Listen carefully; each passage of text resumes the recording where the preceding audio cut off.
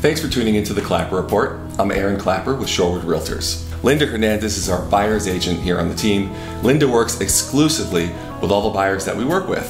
So, Linda, what's important about choosing a buyer's agent? So, having worked with so many buyers, um, I've developed a skill set where it allows me to really understand what the buyers are looking for early on. So, whether it's buying a single family that they're going to live in or an income property, I really understand what it is they're trying to accomplish, uh, what kind of lifestyle they want, and partner up with them in accomplishing that goal. So, what makes you different than other buyer's agents or other agents that are working with buyers here in our marketplace? So in this market, we have one whole market and then we have mini markets. So I'm able to walk into any mini market and quickly understand it. Sometimes we forget how important it is to understand what's important to the sellers. So when we ever we're presenting an offer, we, I always get a background on why the seller is selling, what they need, what they're trying to accomplish. So when we write our offer, it is uh, something that stands out. Recently we had clients that were looking in a really small marketplace, lots of competition. There were 24 offers, and our offer got accepted. $10,000 less than the highest offer, simply because the seller really felt that we wanted to give her what she wanted. Great. So, in, in working with a buyer, you're looking to get them the property for as little money as possible, and by mm-hmm. understanding the terms that the seller is looking for, you're able to accomplish that. Absolutely. So, for the buyers out there, what should they know about being the buyer? About how they can effectively help you get an offer accepted. So, being committed to this process is really important. Looking at these homes in the first two to three days is very important because if you assume they're going to be there next week, chances are they're not.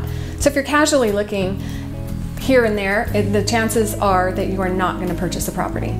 So, everyone's hearing a lot about off market opportunities, off market listings. Mm-hmm. Can you explain how you're able to give our buyers an edge? When searching for and purchasing these off market uh, properties. So, right now, more than ever, we're seeing properties that are selling off market, never hitting the MLS. So, as a team, we were able to sell three in the last two weeks, and that's with heavy networking. We do a lot of prospecting ourselves, but we also network with the agents in the area.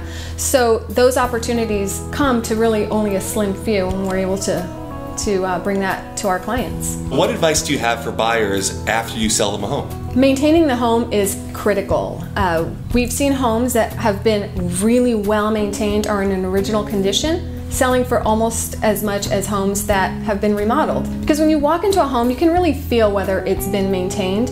And if there's areas that haven't been maintained, it's very obvious. I would also budget in every couple years um, some kind of upgrade, whether it be a furnace, a roof, flooring, kitchen, things like that. And, and, why is that important? It's really hard to get a house that's been neglected to feel fresh again. If you're looking at a buyer's from a buyer's perspective, if there have been certain things that have been neglected, they're wondering what else has been neglected, and that's going to translate into the offer that they're going to make. So, for buyers out there that want to have an amazing experience in working with you as a buyer's agent, how can they reach you, Linda? So, I can be reached via email, text, or phone. My phone number is 310 977 9597 or linda at klappergroup.com.